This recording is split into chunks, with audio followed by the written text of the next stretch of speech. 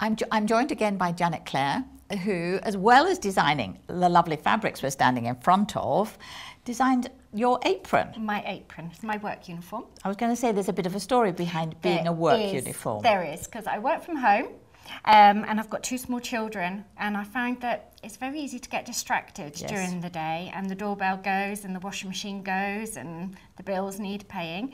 And I wasn't actually getting a lot of work done, so I decided that I needed a way to feel at work and for everybody to know that I was at work. So I decided I needed a uniform. And the easiest uniform to make was an apron. So here is my apron. It's a slightly unusual apron. It's, uh, it's sort of, it covers everything. It's got lovely it covers pockets. over everything and it's not tight round your neck. No. I wanted to feel comfortable in it and it's very easy to put on and put off. And I've made it white so I know it's clean because I do sewing and I needed to know it was going to be clean. Right. Um, so that's why it's white. So it's quite high maintenance. And you've embellished it. I've embellished lots of, it. Lots of things. Little, little, little things that mean things to me. So I've got my little nurse's watch that my son and I found at the car booty. Okay. Um, I've got my work motto, which is she believed she could, and so she did. Um, little badges that I made as part of my book. Um, my great friends in Devon live in Honiton, which is famous for its lace. lace, so I've got some lovely lace here to remind me of them. And little buttons and things. I've got a little secret and you've in got my a pocket. secret. This is my little worry doll She's delightful. who lives in the pocket. And I'm not a great worrier, but she's still a comfort.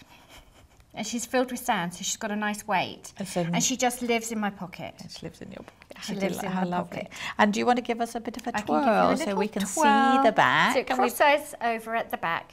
And I'd say it's very easy. it looks really comfy. It's very comfortable and it's based on a vintage design. So I was looking for vintage aprons and Yeah. things. But I think the real unique part is that I've embellished it and I keep adding to it as And- and, when I can. And you've got a lot, absolutely. Oh, uh, as and when you can. So it's an ongoing project. Yes, yes, All I do add. Yes, and I've got a little pile of things that need adding to the apron. I try not to make it a chore, so they just happen when they happen. And they happen. And a mixture of handwork and your traditional. Yes. Um, Yes. I call it scribble scribble playing. It's drawing with the, the machine. drawing with yeah, the machine. is scribbling. It's quick. Yes, It's fun. Yes. yes. Which, uh, yes, you've shown us how too. Yes. As well. Thank you very much. You're welcome.